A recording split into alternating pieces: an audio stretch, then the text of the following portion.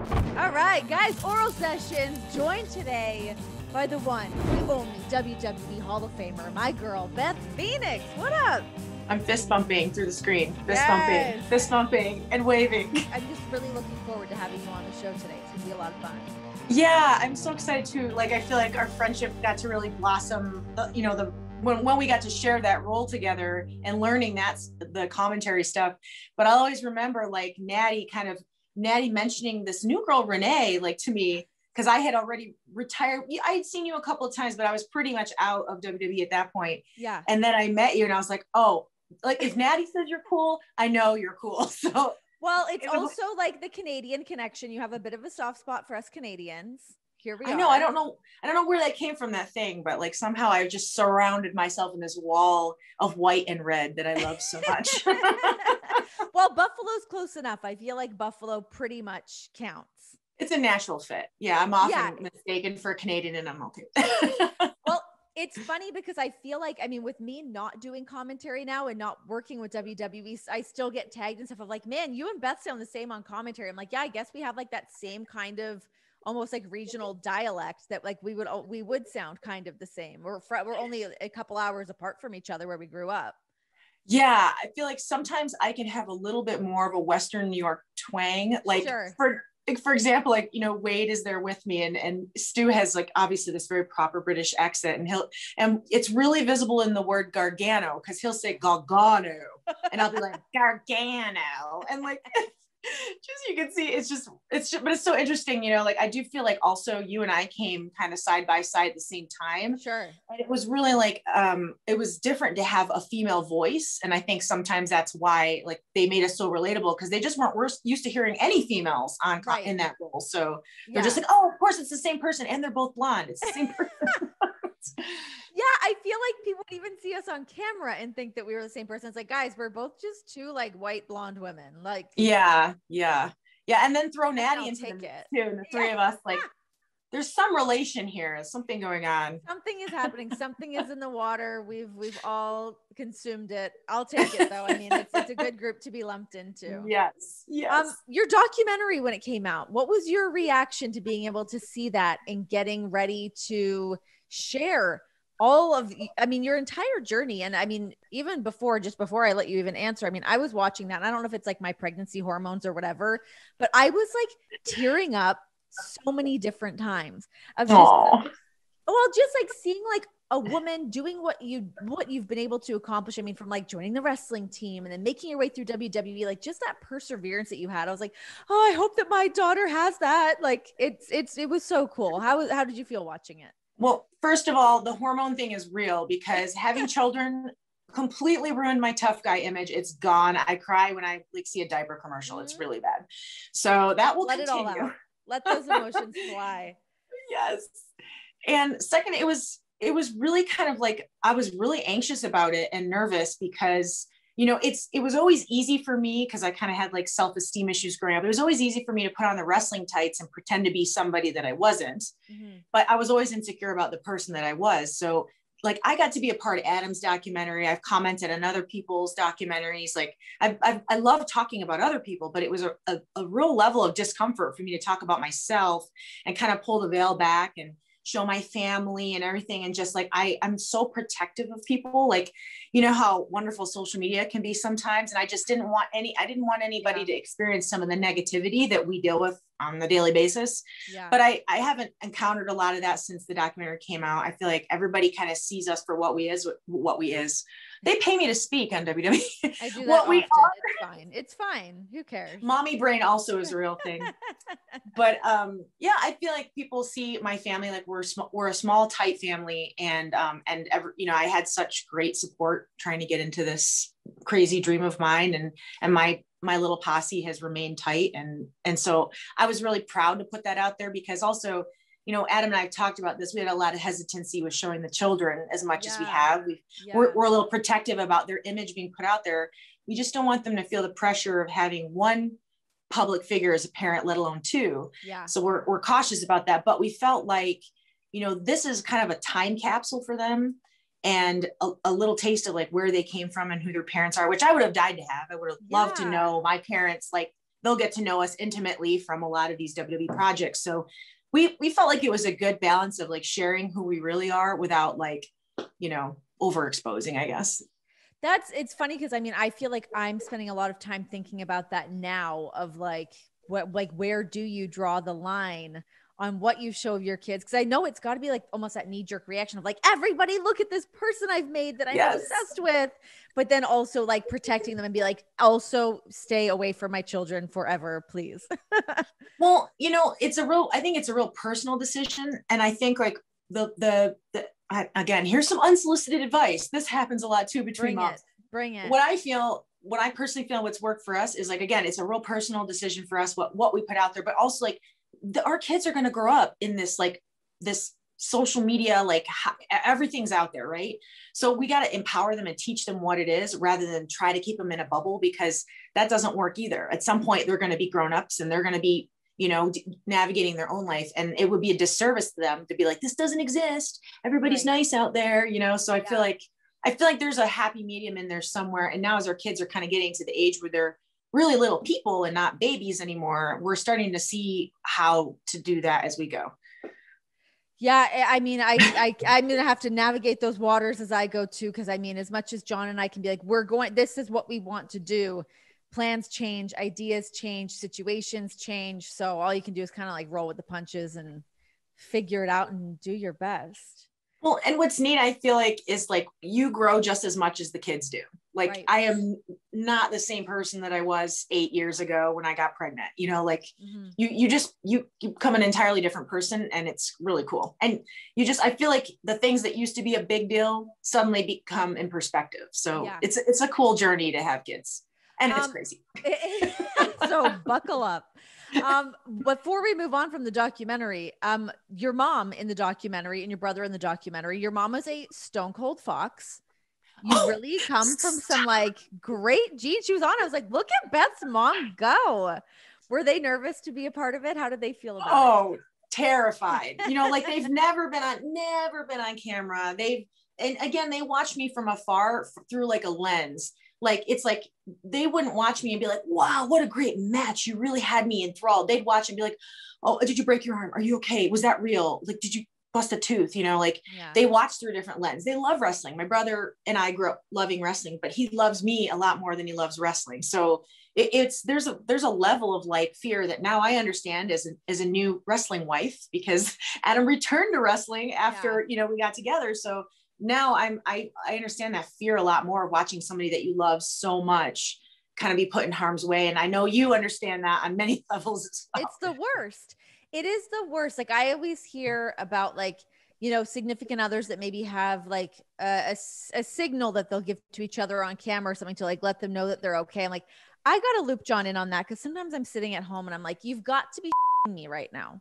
Like, tell me that you're okay and you know it's not like john chose like the grappling side of wrestling like right. he's like Let, let's blow me up. Why not? Oh you know my let's, God. let's add some c4 and some blood into this mix. Honestly like, thank god that explosion didn't work. I was like bracing for it. I'm like no no no and then it didn't happen. I was like oh now i feel bad for you but also thank god you're okay. Yes yes. There's a mix of emotions. It's, yeah walking it's, the line. I yeah. I um and then also in the documentary i mean i I knew the story about Molly Holly uh, paying for your wrestling school, but I didn't really understand the extent of it. About yeah. just, I mean, even you meeting her at like a Fan Axxess, giving her your tape. And I mean, you always hear these kind of like horror stories of like women not helping each other in the business and stuff. Like that is just not the case. I mean, obviously, you look, I mean, it can be, but in this situation, you know, being able to see Molly Holly, for her to see something in you right from the jump to help you get your foot in the door, to help pay for your wrestling training, like that just doesn't happen. That's crazy. Well, and I, I feel like you hit the nail on the head right there. It's a matter of like, you know, what's the type of story that really grabs a headline? It's like, you know, so and so was catty and held this person down and like yeah. blah, blah, blah. You know, the real, everyone wants the drama and it's not necessarily head, headline news to be like no this person is like a, a living angel and she plucked a, a basically essentially a fan and I sucked at that time. Like I'm the match that I gave her, I was not good. But Molly like just saw in me, you know, just I guess maybe a passion and commitment and just mm-hmm. want and a, a, desire to improve. And that's what she gave me like the opportunity to be able to improve when i did wasn't financially in the situation. I couldn't have made that happen. And so um yeah i mean i feel like those stories there was a time where maybe those stories wouldn't get the traction but i'm so proud to tell those stories because i feel like the more we normalize that the more you're going to see that it's not a bunch of drama and cattiness. There there is a lot of folks helping out each other and there's a lot of men that help the women too. It wasn't yes. all like the men are holding us down and blah blah blah. There were so many advocates for the women to to be better and to to get more opportunities. Fit Finlay you know dustin there's so many guys fighting for us and taking us aside and helping. It's not it was not it wasn't the um i don't know it just wasn't all the way it was always painted out to be if yeah. that makes sense no, I get that. It's funny because I feel like, you know, when I do interviews and people always kind of want that, what's it like being a woman working in a man's world? And it's like, sure, there could be some hiccups and some like things that happen here or there, but that's going to happen regardless of gender. But I, you know, a thing that I always try to point out is how many awesome men that I've actually had the chance to work with that have done nothing but champion me and help me to get in the positions that I've been in and not made me feel like I was the girl to be there. I mean, I can talk about Michael Cole for days about how much he's helped me. I'm sure you can feel the same way, but like working with him, uh, you know, with with Corey Graves, with with Tom Phillips, with Mike Mansury, like all of these dudes that have been so quintessential in helping to like push women along. But yeah, it, it becomes that headline of like, oh, they wanted to hold the women down and they're not doing right by them. And it's like that's just that's not always the case. No, and, and it's and we know that it's not it's not all like you know one side of the line the other side of the line. It's it's really a spectrum across the board. And and we're all we're all just a group and we're all so different. Like there's just so many different types of people that get get into this and are attracted to this. But now i just i don't know. I i don't prescribe to that theory that you know that that it was all one certain way. I'm trying to be politically correct. Can you tell? Yeah. like I, how do i say it? We're walking that PC line over here. Uh, it's terrible. Uh, how did it feel for you to see Molly Holly go into Hall of Fame this year? Oh, I was so excited. So here's the thing like in my documentary, they didn't end up using the footage, but I shamelessly was trolling through that documentary. Like I was showing things that Molly gave me or whatever. And like, here's the gear she gave me. And I was like, future Hall of Famer, Molly Holly got to go in the Hall of Fame. And then, like, just randomly, because I knew it was about that time and we didn't hear any names announced for Hall of Fame, I was like, I said, like, Victoria, uh, Jazz, and um, Molly need to go in the Hall of Fame, like on Twitter. And word of no lie, like the very next morning, they announced, and I think that they had already recorded the bump telling Molly. So I didn't know, I had no idea. Ah. And uh, so I was so excited. Like I was just trying to speak it into existence. Sometimes, like reminding everybody helps in, like, oh, yeah, holy crap, like this person, how, how have we not you know highlighted this person yet and i and i think like it's it's it's awesome to see people get their due that not, are not only talented in the ring have helped a lot of folks but also you know just like Molly just done so much behind the scenes is so treasured and respected. And you know, I think we're we're at a stage now where like being a good person is being rewarded. And I think Thank that's awesome. God. Thank God. Right? Like it is about time. It's funny. I like as I was like preparing to this interview with you, and like one thing that popped in my mind that's like something that I think you and I share. And I don't know if this has ever been something that's hindered you, but do you feel like being as nice as you are has ever gotten in your way? Well, I think that it got in my way when I was trying to be sexy. Like, okay. so, you know, there was a large segment of my career where I was kind of, com- I was competing with the brand of sexuality that we were putting mm-hmm. forward. And it was so not me to the point where, like, you know, I got breast implants, something, a decision I was really uncomfortable with, but I felt like that was something I had to do because I was just this I wasn't that type of woman that like exuded sexuality. And I felt like, well, if I don't do this, like how, I mean, I didn't feel like nobody ever said that to me, mm-hmm. but I felt like that would bring that out of me. And it didn't at all. It made me more self-conscious. And, Ugh. and, you know, so I, I felt like I was constantly competing with myself to like be this thing that I wasn't. And um, yeah, and it, it just being nice, I don't feel like held me back because um, I felt like I wanted, I treated everybody with respect. And honestly, here's another Molly Holly story. Before my very first tryout at the Air Canada Center in Toronto, yes.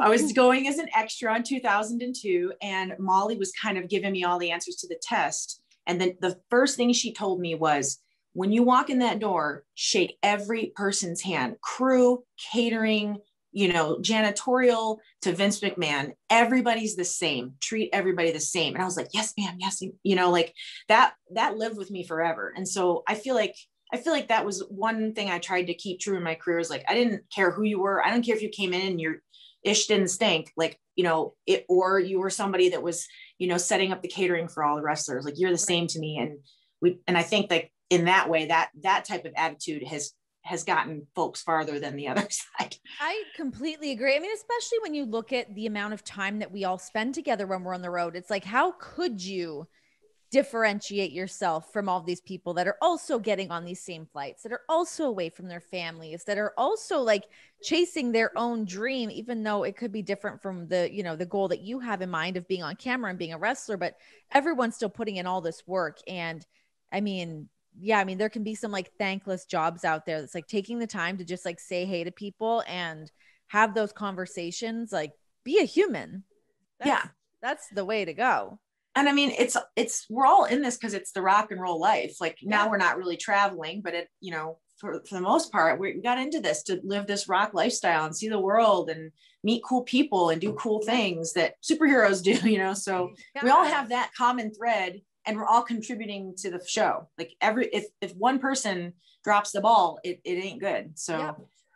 It all, all there okay, so 2012, when you walked away from from wrestling, and I mean, I know this is uh, you know, could be somewhat contrary to what we were just saying about being championed by men and having all these people behind us. Again, there are both sides to both to to each story. But you walked away in 2012. You were just done with wrestling at that point. How did you come to that conclusion?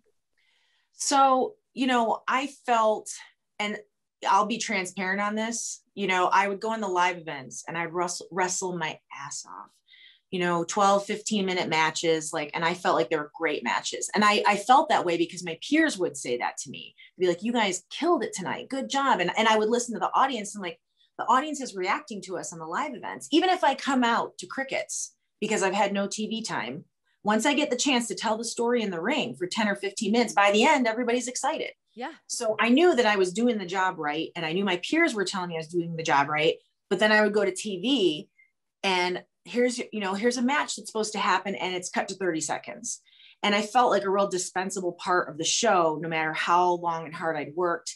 You know, I felt like even at a point, like I got over as a character, you know, I thought I did that part right. Mm-hmm. I thought I checked every box to be trying to move this thing forward. I felt like, you know, I was trying to work with other women to, you know, as a as a group too to try to get us all you know featured more and on every i had pay-per-view matches every pay-per-view for like five years. And then i remember like one of those last years and i'm like oh, here here i am. And i would work like or do a tag match on the weekend and then be taken out of the tag match and somebody else plugged in on raw. And i just got to the point where i was like uh, i'm you know, I felt so frustrated that I put in all this work and I didn't see anything changing in front of me. And at that point, I was like, well, I'm 31, I'm 32. And I had already wrapped my head around like I had bought a house, I'd set up this really manageable life that would not require me to make a wrestler's salary in order to keep the lights on. I was living near my family and friends, and I was totally ready to just move on because also I'd done everything I worked, I accomplished all the things that I wanted to do. Mm-hmm. And even if on the grand scheme, if it didn't matter, and if people were like, I don't even remember you as a wrestler, I was like, well, I remember what I did and I tried really hard. So I was ready to move on. And then, you know, I'm I'm in this whole conversation in my head getting ready to leave. And then Adam and I got together. And then the other layer on that is like he was, you know, done with wrestling and grieving that and ready to move on too. So we were like, well, let's let's it's time, it's family time, like right? Yeah. Like make some and, do the horizontal shuffle, brother. Let's yeah. go yeah, you're you're hot. Let's do this thing. So so you know it just kind of it really and then he had his neck surgery. So we we had just suddenly both ended up sitting on the couch next to each other with you know all this stuff behind us. So we were just ready to like throw ourselves into parenthood and we did like full on just dive right in. He was doing the acting but i was like i'm stay at home mom for life. I love this. I was so mm-hmm. happy. That i mean i can imagine and then to have everything kind of flip upside down again now to like okay so adam's now back in wwe you're back in wwe um what was that like for you being uh you know the wife watching him get this dream back? I mean we talk about this a lot like like the documentary shows a little bit of it and you know what what you see on the screen is like 2% of it but it's it's been years and years and years of the work that he's put in like pretty much since 2018 you know like trying to get himself physically and mentally ready to do this. But me as a wife like it it, it has been jarring. It has been difficult mm-hmm. because i had for almost 10 years wrapped my head around the fact that like if he gets in a car accident he could die. If he you know falls the wrong way he could die. Like we were told all these things that really made me terrified for adam to be in a dangerous situation even mountain biking i was nervous and uncomfortable i just didn't want you know i i love him i don't want anything to happen to him mm-hmm. so then when he starts contemplating this wrestling thing i'm like are you nuts? Like maybe we should go to the psychiatrist instead of like Dr. Maroon. But he just he just knew himself. Like he knew himself. He knew his body and he knew himself more than I did. Mm-hmm. And he knew that he knew that there was a window open for himself. And then once I said, there's two things I need to see before any of this can happen. And I said, this is as your wife, and I will I will be the big heavy on this and say no, because we have two kids. I said, I gotta see it with my own eyes, number one, and then I have to hear it from the best in the world. I have to hear from Dr. Maroon, I have to hear from our team that you will be okay. And I have to see it. I have to see you move around and see it with my own eyes to, to be convinced that this is real. And he did both. So what can I do, Renee? what can I do? All right, you've met the criteria. I guess we'll proceed as yes. normal yeah. crazy. And I mean, to be able to see him come back, come back now, and then he suffered another injury, had a bit more time out. You've been busy with commentary, and to see Christian now also medically cleared and back in a ring after seven years, no what? bumps. Thinking like, what the hell? Yeah, you took the words out of my mouth. What the hell? So like, it was just, it was as casual as when it happened with Adam. You know, they just started kind of casually talking about it, and then I think Jay was doing the same processing that you know Adam did on his own and mm-hmm. and the cool thing is like they've leaned on each other so much throughout all this they have each other it's the neatest story like I tell them all the time like this is a movie 100%. like you guys you guys have lived this friendship since 6th grade since you were kids. And how many I mean a lot of us have made friends in wrestling but they're truly like the story like the, the Hardy Boys were brothers like you know other than brothers getting into this like they're they're the closest thing. Where best friends just dreamed it and made it happen and then made it happen again. So i just i love their friendship so much and i love that they just bicker with each other too. That I know must have, sorry it, it, must have been like interesting conversations for them because i mean i know john and i had been talking to jay a lot as he was trying to figure out his decision of what he wanted to do showing up in the royal rumble and then obviously talking to adam trying to figure out what he wanted to do. So i mean to be a fly on the wall for those conversations of them trying to figure out what the best move was for jay to do i mean come on. But it is yeah. a movie. It's a movie. Now they're both working for rival companies and like Someone's got to write this. Somebody listening to this, write this script. So my question to you is seeing seeing Adam back in the ring, seeing Jay back in the ring, you're back ingratiated with WWE. And it seems to me that literally every woman that I talk to is like, I want that Beth Phoenix match. Aww. And you are medically cleared, correct? I am. Renee's trying to get me booked, everybody. You see this? Just I know that you I mean you're a wrestler. You are fantastic at commentary and that will be a job that you will be able to do forever. But there's got to be part of you that is still a little bit like, "Oh, let me put on my boots and get back in there." Do you think about that a lot? So, yeah, I mean, once a wrestler always a wrestler. I mean, I I'm not going to lie about it and be like, "Oh no. No, like I'm good." You know, there's I feel like you wouldn't have you couldn't have done this and wanted to do this your whole life without always having that little bug mm-hmm. you know? So i get and i also i just get so happy to be in the conversation of somebody that that are today's stars would look forward to facing like again when i left wwe i felt really insignificant and i felt like i hadn't done anything. I just felt like i didn't move the needle. And i felt so you know i felt sad about that part but okay to move on but now i feel like i'm getting this wonderful recognition from today's women and it, it just makes me feel so good um, as far as coming back to the ring i always you know, I'm going to give the worst. I say this on every interview. It's like you never say never. If the right opportunity arose and I could do business, that's really all I would care about. Because of course, would I love to have a retirement match, a, a, you know, a, a big farewell and give somebody the high five and pass the torch? Heck yes. Um, but I feel like I, there's only a limited amount of people I could do that for. Whereas on commentary, I can do that two hours every single week. Every every week, I can tell you how awesome Indi Hartwell is, and tell you, you know, like look at Shotzi Blackheart's improvements, and like I can I can bring I can help all the talent weekly on commentary. So, in that respect, like I love I love commentary because I feel like I'm contributing in a positive way.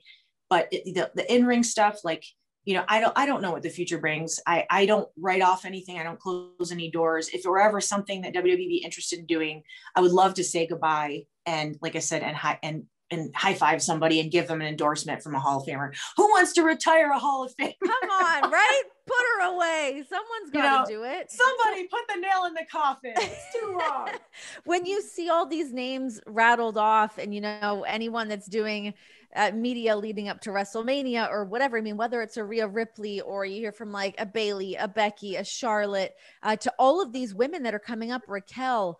Uh, who who do you want to face? Who would you want that match to be with if you could pick right now? I am putting you on the spot. Nay, I, I have to. Stop. I, bad. Don't because we're like it's manifesting be, it. Well, and the clickbait, I can just see it now. Beth Phoenix challenges so and so. Like, God hell. Maybe I mean, Vince will read it. We'll get you a book, sister. get me book, bro. Get me book. um, I don't know. Like, so what I love seeing, like, I don't know, we had a moment on NXT last week where you had Bianca Belair, you had Rhea Ripley, and Raquel Gonzalez, all three yeah. champions. Like, is there ever a better visual of like a new era, new, you know, fresh blood at the front of the line, three hungry women that are just you know we've got diversity right in front of us that we've been waiting for and you know it was just such a beautiful snapshot and i also love like we have so much body diversity across you know all the brands like which is a huge change for the women. We have women's tag team titles now because we have so many in-ring you know talented women that now you have those opportunities. And do you see how i'm like going around your question here? Yeah, you're a pro. You've been here and done that. I get it. Yes but uh there i i have a feeling there is somebody that uh, I, I, have a feeling there is somebody that um, that will end up across the ring for me at some point. And I don't I don't want to give any clues on that, but uh, I I don't think that the Beth Phoenix is done lacing up the boots forever. So you're skirting the issue of getting back in the ring. But here's one other thing I just want to add is that I don't think this needs to even be just one match to like send off the Hall of Famer because you you're you're ready to go. I mean, you could May. actually have a window of having a run here. And I do feel like there's got to be a part of you that just really wants to be a part of this women's division, looking at how much it has grown and changed. Can I, does everybody hear this woman? What a little naughty doggy she's being right now. She's booking not only booking me for a match, but booking me for a run. I'm booking you for a run, girl. this isn't a one-off. Hell no.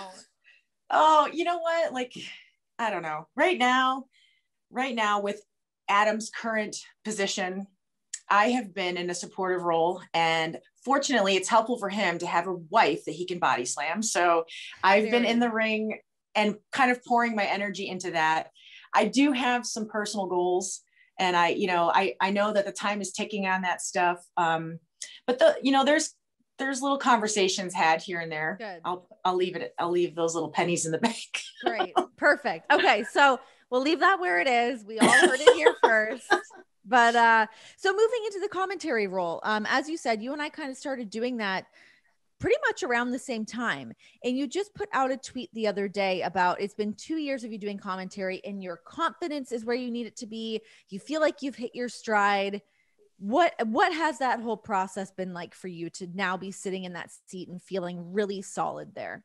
Yeah, I mean, I I don't. It's you know, I I mean that statement in that I feel super excited to have kind of found the two co-workers that I jive with really well. You know, and this is not taking away from anyone else I've ever worked with, Mauro, Nigel, you know, Tom Phillips. I've I've had great experiences and learned so much from everybody, you included, Renee. We had lots of fun. We I think that we did have fun. We had we were like we had to do the May Young Classic together. Both of us were like, "Do you know what you're doing? I don't know what I'm doing, but no, with Michael Cole right in the middle. He must have just been like, oh my God. Yeah. But it was it was a fun experience. But I learned I learned so much, you know, with each little and and what I know is wrestling. I liken this a lot to wrestling. And I feel like when you're, you know, when you're wrestling in the beginning, especially like you take a little something from each opponent where you're like, oh wow, I like the way they did that. Or wow, that was I learned a lot from that moment and having to think on my feet and so i've taken so much from getting to work with you know the best of the best. Mm-hmm. so to, to be in the point where i'm at now where also i feel like i know the product so well which was huge for me because coming into nxt it's such a fast-paced product. Yeah. And you know i i'm a kid of the 80s and 90s and i'm watching you know i'm watching you know slower paced matches and slower paced style. And so this is like ba ba ba ba ba ba ba and you know, when I started, I came home to Adam and I said, man, I was crying. I was like, I can't keep up. I'm too old for this. I can't do it. And he was just like, you just don't know it. And they don't know you. And also all the feedback was so toxically bad. And like, you know, you oh. suck and freaking like just, you know, I had to like how was it? How did you keep that? How did you keep that out of your head? Because I had a tough time with that where I couldn't help myself because I felt that way as well. And they were echoing mm-hmm. how I felt. So I couldn't help but be like, you're right. I get it. That like I how did you move past that? Well, I, I remember texting you about it too at times and being mm-hmm. like, I I don't I can't do this. It's like, and if you don't believe in yourself, then you definitely can't do it. You know, it's like it's sometimes when the whole world doesn't believe in you, you got to be the one that does in order to keep going forward. But you know, I think that Michael Cole, I'll, I'll give him the credit on this. He was like, what you need is reps. Mm-hmm. And in those moments when everybody was saying, you suck, like I swore, sorry, but oh, you know, when swear when, all you want on here, we don't mind. When the feedback was just like, you suck, I just, I would just tell myself, Cole says, you just need reps, you need reps, reps, reps. So every time I was going to work, I was looking at like putting in time in the gym. Yeah. Beth, you're not going to get a body overnight. You're not going to break your bench press overnight. You got to go put in the reps. And so like that's that's how I had to look at it when I wanted to cry and I wanted to quit. like I just was believing all the hate. I had to be like, you go in there and you do your freaking workout and you do your reps because one day you're gonna break your bench press record. Damn right. And, and so and that and I put out that tweet the other day because I just had fun at the desk. It was like the first time, and I told Vic this and I told Stu this. I had fun, and it's been I've been waiting for that. I've been waiting to have the moment where I can sit down and the red lights on and I'm not a deer in headlights and terrified and what am I going to say? And I just had fun because I felt safe with two people that that elevate me and I have great people on the headset that elevate me and we just had fun. And I'm who's I feel in, like I'm who's in your headset at NXT? Who's we've got Fathom, okay. Fathom and Palm Rico are with us. Got it and um, and Tom produces us. Mm-hmm. So you know, I have they're all friends and all people that I have a great deal of respect for, and they and I just feel like it's a it's a team. It's a real team effort, and I am all about being on a team. Like put me in, put me in, coach. One hundred percent, especially when you're in a situation like that. And I felt very much as you know, as much as Cole did whatever he could to try to help me, Graves did what he could to help me. You start doing three hours of Raw every week they have to worry about themselves. They didn't have time to worry about me. Yes. And I, I very much so felt like I was on my own island. I was like, I just need someone to hold my hand a little bit. But it, it's, yeah, I mean, it's, it's hard to get over that like hump. And the fact that you've been able to do that and you're in a comfortable spot and you you put in the work. I mean, you put in work at absolutely everything that you do. And working at NXT is such a great spot for that as well, for you to be able to like, you can work and you've got the freedom in there to do what you do and to grow and to be better. And obviously that shows. Well, and and you know, I'm not trying to compare experiences, but this is I don't know doing commentary on Raw and SmackDown, so I can't speak to that. I know what I hear, but I don't know. Oh, but what I know, sure, it, it comes with its own set of challenges and excitement. Mm-hmm. But at NXT, I know you again, you hit the nail on the head. I was given the chance to grow. They didn't give up on me when the first six months, probably first year, was super rocky. You know, they didn't like Hunter didn't, you know, if I would make a big mistake, it wasn't like she's done. You know what I mean? Right. Like he, Hunter, Hunter was, gave Hunter's great with that. I will say, like he would yes. send me texts sometimes, and like those were the words of encouragement that I needed. Like I was so happy that he had reached out to me times when he did and i feel like when you when you have somebody that's trying to nurture you like that i feel like that that motivates you to grow You know what I mean? Like that motivates me. Like, okay, he didn't give up on me, so I can't give up on me. I got to bring my best effort because I have people that are trying to lift me up. So I don't want to come here and phone it in. Yeah. And so I feel like it's just been NXT has been a great place. And I watched that happen with talent too, being, you know, given the chance to grow and try new things and take the handcuffs off and, you know, be able to pitch ideas and really get like a collaborative effort going on. And that, that's what I love about the NXT environment, you know, and um, yeah, we can all just get better. 100% and you know that was something that like even me saying is like i felt weird when i was doing commentary i felt like i was i couldn't get other people's voices out of my head but then when i felt like people had given up on me like there i really truly like i mean i'll just say it here but i felt like vince had given up on me i could I, you know just that feeling and maybe he i don't know and maybe it was just in my own head of me feeling that way that i always just felt very like oh, I felt very insecure about it the entire time. So every time I would walk back through Gorilla, I'm like, oh, I don't even want to look at anybody. I just want to like get in my car and go to the next town. But like those were the things that would chip away at me and chip away at me that I'm like, oh my gosh, I just need to like get out of this chair. Yeah. And I wanted, I wanted to make it work. I did really want to make that work and be successful more so not even for myself but for laying that groundwork down for other women to jump in there and as much as you know it, it was made a big deal for me to be the first uh, woman to call monday night raw and wrestlemania and all that i'm so happy that i was the woman that got to do that but it should have been you No.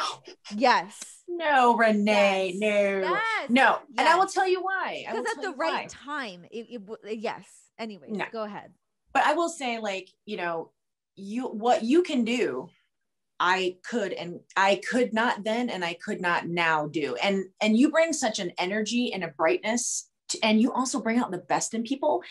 When I remember doing, we did the panel before Evolution. yeah And that, you know, I remember we did it was me, you, and Paige.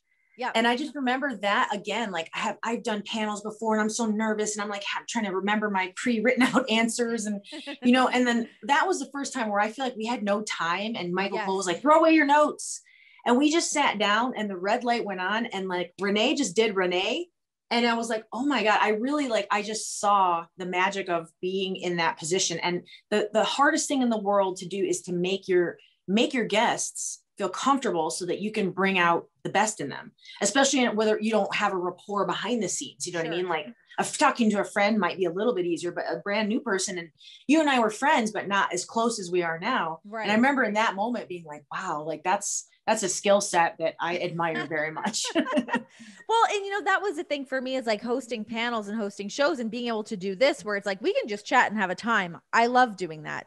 Talking in little sound bites and finding those right times and matches to talk is like, but, but what like literally when Michael Cole and, and Hunter were like, you're going to step in and do Monday Night Raw, I was like, okay, great. And then I was like, wait, how do you do that? I never even thought that that's, you know, talking those sound bites and finding those right moments in like certain moments in a match it is such a different skill. So like anyone that's in that commentary desk, I mean, I applaud them all damn day long. oh yes i have a lot of respect for everybody that does the Yes. role yes, definitely. Um, okay, so we've talked about how much the the women's evolution obviously has grown, how much you've been able to grow as a broadcaster. Uh, when you're eventually going to put the boots back on, that's all going to happen. not What- if what- when i like the way you did that renee when that happens, we'll all be ready. Glam slams all around. Uh, what what what else do you want to see happen for women in uh, in professional wrestling? Um, so I think that we are in a good pocket right now. I mean, I love obviously we had such a celebration at WrestleMania. They, you know, the women were highlighted like we've been waiting for them to be for a long time. And also, again, like I say this all the time, it wouldn't work if the opportunities that, that we give the women, if they didn't like not just meet it, but exceed it. Like I feel like to, Yeah. to continue getting the opportunities for a long time, the women had to keep exceeding the expectations because we were like just working behind the eight ball. So I- I feel like something that I hear often from fans and you know and the chatter amongst the women, I think there is room now and we've educated our audiences to see the women as stars where you might be able to do a weekly women's show and it wouldn't no mm-hmm. offense to like low or previous all women's shows but it wouldn't be so much gimmick. It would be wrestling. And I think you could have characters and interactions and personality, but you wouldn't have to have entirely, um, you know, just gimmicky, flowery angles and a can can line at the end. You know, I think you could have yeah. some, enter- you could have entertainment and wrestling. You know, and you keep seeing, uh, I feel like each year after we did that evolution pay-per-view there is that demand for and all and just to keep having that all women's pay-per-view because there's so many bodies there's so much talent we have tag divisions. We've got you know multiple championships. It's like let's get these women out in front of each other and let's let them get in the ring together and be able to like really showcase what they can do consistently time and time again. Let's bring it back. Yeah and we have like we have a need for content a hunger and thirst for content like never before. I mean we have wrestling yeah. every day of the week like between impact yeah. aew and us like you know there there's so much wrestling. I feel like a women's show would be successful because consumers are asking for it. So I, I don't know what that looks like. I don't know what side of the pond would you know be willing to do something like that. But i think that would open up a lot of doors for also for women who aren't working for one of the big companies the big tv companies to have a place to like hey i could come in and be you know have a have a match with you know one of our big stars or something like that. And yeah. and you know you could get some other fa- new faces on there featured and get more opportunities so. Yeah. Let's champion it. Make it all happen one Put other thing there. i want to talk to you about commentary wise because this blew my mind was during the peak of COVID craziness, you were calling NXT from home. How the hell did you do that? I mean, it was a village of people. It was a village. So what happened was over the summer, you know, Adam had the greatest mess wrestling match ever, right? The world's greatest wrestling match. Yep. And like my mom has heart conditions. She has a triple bypass. She's like super mega high risk. Okay. So pandemic happens. The news is saying the world is ending and we're like what is going on? So we had discussions with like you know i think they were work, working and talking to all talent and like you know who who's comfortable doing what? And in my situation i was like i i'm stuck guys. Like adam's hurt. He just had a surgery. My kids aren't in school. We had you know my my kids are remote schooling and i can't get covid because I, my mom lives alone and i help her so I was like, we were just, I was in this situation where I'm like, maybe I have to quit. Like maybe mm. I said to them, I said, if you have to replace me, I completely understand, but I'm stuck. I, you know, I got to take care of my husband. He, he's, he needs my help. My kids need me and my mom needs me. And, and Michael Cole and Hunter said, we're going to work, we're going to come up with something. And they, they got with tech and tech got with me. And you know me, I can barely operate a cell phone. My computer already died during this interview. I don't know what the hell is going on. It's magic that I can click a link to get on Zoom. And somehow, with a army of WWE masterminds, we were able to set up a remote commentary station. And they did so for Mauro as well. Because um, of travel restrictions too. Like in, Nor- in North Carolina was locked down. I couldn't even get there if I wanted to and and and then we we did this progressively throughout the rest of the summer and the fall through Christmas. And, you know, that my, we were able to get my mother vaccinated in that time before I came back to work. You know, she was in the first or second high risk group, whatever the one was for high risk medical conditions. Okay. I can't remember which one it was, but um, we got her vaccinated and Adam was healed. So, you know, he didn't need my help anymore and my kids returned to school. So my, my life was, I was in a position where I could travel again. And if I could expose myself to risk because all, all my personal ducks were back in a row. But I, I've said this to everybody, you know, individually, but I, I have an absolute gratitude and loyalty to, to NXT, to Hunter, to Cole, to everybody that made that happen and how hard it was to work with me because they had to put the other commentators on a delay. Like it was like a, it was about 0.8 of a second in order to be able to match me because it was done like through Wi-Fi, right? Through the internet. So there would be one, two, three in the ring. You know how fast everything moves. One, two, three. They would have to call it and then it, and then see it on the screen like half a second later. Replays. Everything was off. Oh so yes, to the guys that were sitting at the desk, they were so good that they were working on a delay to, to operate in sync with me. It was unbelievable. I was so curious how you guys were doing that because I remember I was watching one night and I was like, wait, why? I think it was Tom or it was Vic. They were there by themselves. And I was like, wait, hold on. what's happening mm-hmm. here? And I think I messaged whoever it was, and they're like, yeah, like they're recording remotely from home. I was like, holy to like rely on the Wi-Fi to work, to you have the monitor, to like, I mean, so much goes into even just when you're at the venue calling commentary, let alone doing it at home, no distractions, hoping that the quality is going to be okay. Like that's giving me an ulcer to even think about it. Oh you know like the uh, there's like a new like there's a real thing where people get anxiety from seeing the battery tick down on their phone. Yeah, like the wi-fi bars like i would wear like a tank top do it sometimes because i was sweating watching that wi-fi like the live takeovers like i think i did three live takeovers like remotely and i mean because that that's live action and so if you're gone you're just gone yeah and so like again we always had to have somebody at the desk so tom phillips you know, never took a second off. He was at the desk, and sometimes Tom was calling with Mauro in LA and me in North Carolina, and he was live at the desk.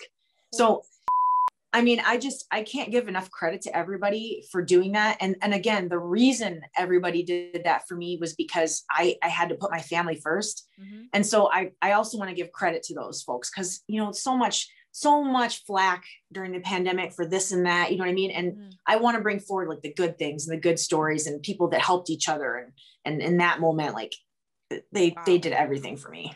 Crazy. That's, that's actually like a true miracle. I cannot believe that you guys, not once, you did it for months. That's months. crazy. So kudos to everybody involved on that project. Yes. yes. My um, hair is totally gray. Honestly, I'd be like stress eating during commercial breaks. Like I can't yes. even imagine. It was bad. Um, so before I let you go, we've covered a plethora of topics. And one thing that I think I would be remiss to not ask you about is the key to making the best pierogi. You are the pierogi queen. Teach me. Teach oh. me your ways. I, I was like, Renee's going to ask me about this pierogi, and I want to tell this quick little story. Can I tell you a quick little story? Yeah. Because I want to give credibility to this advice that I'm going to give you. Other than I've made pierogi since I was a little girl. My grandmother made it. We would make it in church, like two dozen Polish ladies assembly line making these pierogies. So, anyways, I was picking up Adam from the airport one time, and I was in the car listening to Martha Stewart radio on XM. The, the queen, give credit to the queen. Of course. So I'm waiting, right. So i'm waiting for adam and the radio station says like if you have a question for martha call in. I have never called into a radio station ever in my life. And i don't know why i was like eh, i'll give it a call. And so i called thinking i'm going to go straight to like you know a, a, line or a queue or something. And then somebody picks up in one ring and goes hi this is martha stewart radio. Do you have a question? I said yes i do. I have a question.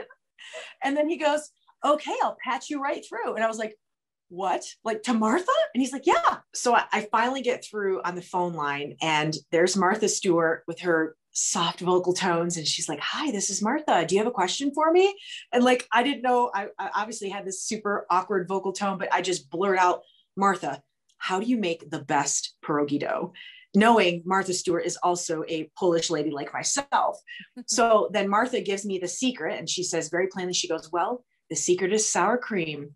And she said a tablespoon of sour cream in your pierogi dough will make the dough soft and keeps it from getting gummy. And so you can, because a lot of times with the dough, you as you're cutting pieces and then taking the scraps and putting it back together, reassembling, uh, it can get sticky and gummy. Mm-hmm. So the sour cream keeps it nice and soft and velvety. Ah, see, I knew you were going to have a solid answer for that. Hell yes.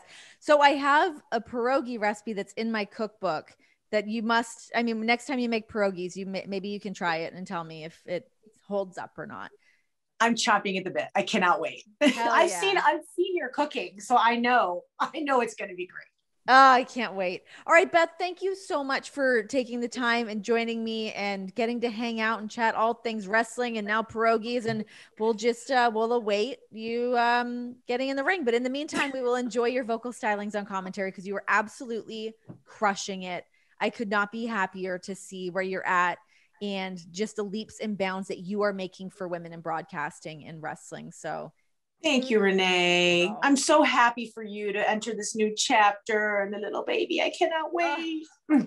I'm going to squish your little baby. You're going to pinch your cheeks. oh, I can't wait, sweet little thing. can't wait to meet her.